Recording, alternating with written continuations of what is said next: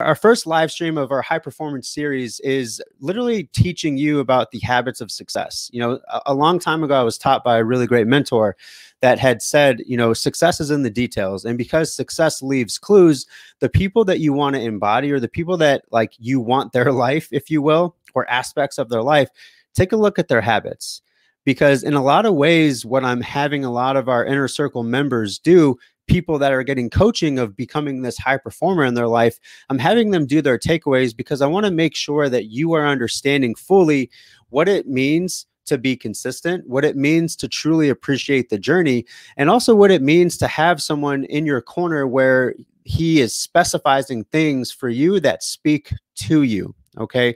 So, with this live series, what I want to do is kind of looking at the five traits of things that I'm seeing of the most successful high performers that I'm working with. And so, a lot of these people stem anywhere from uh, being professional athletes to being professionals in their lives, and then even being professionals in their homes. And so, I want to go through a little bit more of like what it takes to what it means to be a high performer. And so we kind of talked about different varying fields of, of those types of people. So these people are not just athletes, entrepreneurs. Uh, they're not just people who are chasing dreams. They are people who are truly embodying this person that they need to become. You know, one of our inner circle members mentioned something yesterday to me that really stuck to him, and it's a question that I ask myself all the time. You know, when you're when you're doing these habits or, or you're living this life, is your future self proud of you? You know, I got asked this a while ago, like, "Hey, who's your hero?" And I totally took this from Matthew McConaughey. Like he has this really great speech of like, my hero is me in five years, right? I want to make sure that I appease him. And then the five years happens like, hey, did you become your hero? Like, not yet. It's that person in five years. And so, in a lot of ways, these habits or these things or this lifestyle that I want you to really begin to embody is truly making sure that you are creating opportunities for your life or for you rather in five years to be like, yo, you're doing a great job. Like you are going through the journey that you need to go through in order to be successful. And so when I look at a high performer, it's someone who is truly able to, to step into that power of let me navigate these little self-care deposits. Let me eat better. Let me be more active. Let me concentrate on sleep. Let me concentrate on my most healthiest and important connections in my life because those things matter. I think I can tell you this, and you've seen this probably across the board. You know, when we look at addiction, you know, these people that we that we look at as like movie stars or artists, you know, there's a huge addiction community with that because there's a lot of disconnect. And so in our lives right now, what I want to teach you how to do is looking at the traits in order for you to step out a bit more authentically and really normalize struggle because mental health matters, right? If you are struggling, like let's first normalize it. So let's get to a point where you are truly understanding that you are not going to be in this place that you're in right now for good, but you do have a choice to continue down that path or to truly seek something else, seek something more fulfilling and authentic to you. Okay. So, in a lot of these ways, as we're going through these traits, I kind of just want you to take notes. If a comment comes up or some feedback that you want to throw in, in the comment section, please, please, please feel free to do so. Okay. So, let's go ahead and go through these five traits uh, a bit more in detail. So, trait number one, the thing that I see across the board for these high performers, for these people who are truly stepping out in, in authenticity, not only just for their health, but their mental and emotional well being, is that they are willing to admit that their life beforehand was not sustainable. Okay.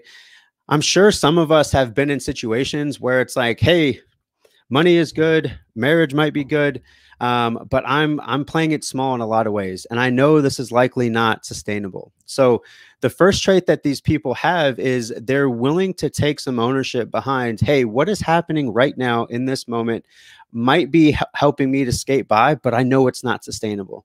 I know that. And so that's that's a different level of self-acceptance and self-love enough to be like, hey, I know that where I'm at right now is not sustainable and I know that I need some help. And so if you're asking yourself that right now, take a look at your habits. Take a look at how you sleep. Take a look at how you connect with your family. Take a look at your relationship with work right? Being a workaholic is not always a great thing if you're heavily disconnected to your health, your family, and everything else. And so we want to take a look at these things and see if we can take ownership behind them because high performers do just that. Okay. Number two, high performers start to develop an identity based habit, right? So they start to truly embody and tell themselves different messages.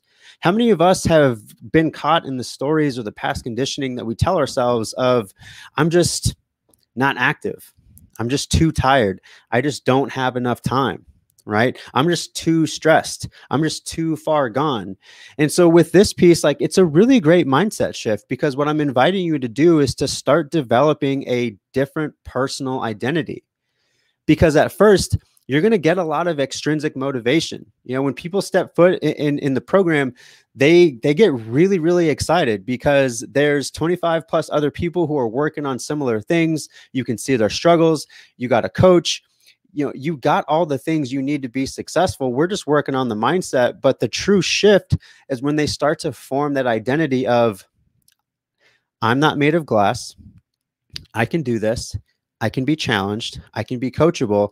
And so when we look at these habits like we're we're truly trying to embody and trying to change our identity behind i can do hard things I tell my five year old that all the time. And really, in, so many ways, like it's a reminder for myself. Like if she gets really frustrated, like she got into this dance class uh, the last couple months, and she's like, Daddy, I don't like the class. It's too hard. Right. And so I had a conversation with her. And, and really, in so many ways, it's kind of a pep talk for myself to be like, hey, you can do hard things. Right. It's okay. You're not going to be great or perfect at everything and it's the same thing with you. You yourself, you can do hard things. You just have to really start to develop that identity in order to do so. And in order to do so, you just might need a mentor to help you with that. You just might need to see other people be successful so that you yourself can have the type of self love to be able to enact that, to be and to embody that person. Okay. All right. Numero tres. They throw themselves into the process right? And so I'm not saying like you drop everything and just focus on the habits, but listen, your habits are going to display a lot of your lifestyle. So even if we look at different aspects of helping you to be successful, we have to start somewhere. And in order to start somewhere, you truly have to throw yourself into that into that habit, right? So even if it's just walking a mile a day, I was having a conversation with one of our high performers yesterday like, "Hey, even if you concentrated on walking a mile a day for 365 days, that's 365 miles that you weren't doing in 2020." Okay. And so this is what I'm asking you to do is starting to throw yourself in the process and truly, again, this is where you get to get out of that that really famous cognitive distortion of all or nothing but truly have gratitude for the little wins that you have people it sounds so freaking granola. It, it sounds ridiculous when I say it out loud, only because I say it so much. And some people are like, oh, you know, this is like toxic positivity. It's not toxic positivity. What I'm asking you to do is to get out of your head, remove yourself from the equation, and actually be present. Because in most cases, when you're constantly focusing on the outcome, you are focusing on the future and you're focusing on what has happened in the past when you didn't reach that outcome. What I'm asking you to do is to be more mindful in the moment of what you have control of. And in the moment, what you have control of, in from the aspect or the example of walking, is literally one foot in front of the frickin' other. Okay. All right. Number four, they allow themselves to fail. I mean, I love saying this to a lot of a lot of our high performing clients. Like, you know, one of them I, I was I was talking with this person the other day, and this person was talking about like how like they haven't done anything and they feel like a failure right and so like they they tried our new strength conditioning program and it was just a big struggle like it was a struggle to to truly get the movements down to truly ask questions and that's just part of learning right and so what I said to this person, I was like, all right, cool. Like you got you got kids, right? And like, yeah, like, okay. So when your kid was starting to walk, um, the first time when they got up and fell, were you just like with your significant other, like, you know what? This kid's not a walker. Like I dang, like we we don't have a walker. Like I don't I don't know what to do. So I I guess I guess they failed. Like they're just not gonna walk the rest of their lives. Like, no, like any self-respecting person, like, no, like get up you can do this. They would cheer them on. This is what you have to do for yourself. Like you truly have to start to become a little bit more of your biggest fan. And if you're not in the moment, that's why you might need some mentorship or some community or something like that to truly help you because you're going to fail. You're going to. Because what that shows me is like if someone is failing, they are being uncomfortable. They are not being in that status quo. They are they're truly looking to live and not just exist. So when i tell you like you can do hard things part of the caveat to that is like hey that that is likely going to be said after you fail at something okay? And so you're supposed to fail and high performers do just that okay? And our fifth one and this is probably one of the biggest ones that i think is just so so apparent when i find someone who sees that evolution of truly disconnecting from the connection that they had of just like workaholism or uh, disconnecting what they had is like, hey, I'm making great money, but like I'm doing a crap ton of drugs. it's like, you know what I mean? It's like truly disconnecting from that and into auditing their behaviors. Right. And so we usually do that obviously through um, weekly check ins of like, hey, what do you feel like is going right? what are some of the areas in which you feel like you're playing it small you know what questions do you have like what do you need and so by doing that you get to audit your behaviors and you get to audit what you need in your life and in order to remain coachable is to truly sort of set your your ego aside and be more vulnerable and intimate with yourself in that process because in most cases as you gain clarity about how you interact with behaviors or how you interact with goal setting or things or fulfillment that you want in your life, a lot of that has to do with making sure that you are clear on your purpose and you are clear on why you want to do what you want to do. You hear me talk about this all the time. I rarely will take a client who just wants a six pack. Rarely. Because if I start asking more questions, it becomes much more about, and this is where the tears happen. It becomes much more about yo, Dez, I just want to feel loved. I just want to feel cared for. I want to feel understood. I want to feel seen. I don't think that I've ever had that. And it's it's across the board with business, with anything else. Like, hey, I I have all this money, or I, I I'm doing really well, but you know what? Like, I'm not happy. This is where fulfillment plays a really big role, and this is where remaining coachable and remaining in a place where where you might be okay with the idea that you need a mentor that's that first step. Again, we go back to like they're willing to admit that their life is not sustainable. Okay. So now that we have that, you know, what do we want to do with all of that information? Yo, good morning to you as well. um, so yeah, so oh, before we do that, let me answer this question right here. Hell yeah, what do you identify as a huge factor in my success? Um, I would honestly say like my and I got asked this the other day. So my morning routine started off as something that I'm like, okay, I feel like I'm I'm wasting a lot of time. I feel like I'm I I'm doing all of these things, but I'm not seeing any progress. But when I truly started to work on myself, when I truly started to take a look at my sleep hygiene, for me, strength training is a really big piece because it's so metaphorical for me. Like time under tension, like you can do hard things, like your body can can throw can do really great things. A huge factor of, of my personal success has literally been much more about telling my story, right? Telling my story that, you know, the life that I was living was not sustainable. You know, the huge factor of my success has been consistency. In most cases, I don't fuck around with my routines you know there's travel there's other things like that happens and therein lies like the other factors like a crap ton of self-compassion a crap ton of self-compassion. So for me those are probably the three biggest factors behind like what has helped me be my own success story right? And so that's something that i want to make sure that you all understand as well.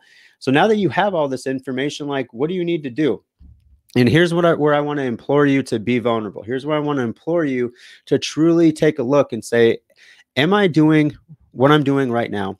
Is it sustainable? Okay. So this is your first assignment. This is where you get to be vulnerable in your process. This is where you get to become that person who is not just simply existing, but living into that that that power that you have in order to be the high performer that possibly your marriage needs, uh, your kids need, your family needs, your workplace, whatever. I think we can all agree that if we're keeping our side of the street clean and we are truly stepping into our most authentic power and we're taking care of ourselves, we're eating great, we're exercising, we feel great about our bodies, we're doing all these things for ourselves, like other people get to benefit from that. Because the other caveat to that is if we are not doing great, not taking care of ourselves, not sleeping well, drinking more, smoking more, eating more, like we become different versions of ourselves that isn't always helpful towards the greater good in our home, in our workplace, and most importantly, in our most important home up here. All right. So there's your first assignment. I want you to let me know. Comment on below which one's hard for you. Or even like comment on one area that you're like, you know what, I actually have been really diving into this. And this is how I feel about it. Okay. I hope this is helpful. I'm back. I love these live streams. Much love to you all. There's going to be a little bit of changes uh, stepping into June with the name of the group, the messages. Um, the message is still the same, right? Let me teach you how to be your most authentic self. Let me teach you how to be the high performer that your your body, your mind, and, and your community needs. Um, but there will be a couple changes, new podcast title, a bunch of really cool things that I'm excited about. So uh, I'm back. Much love to you all. Have a great weekend. Later.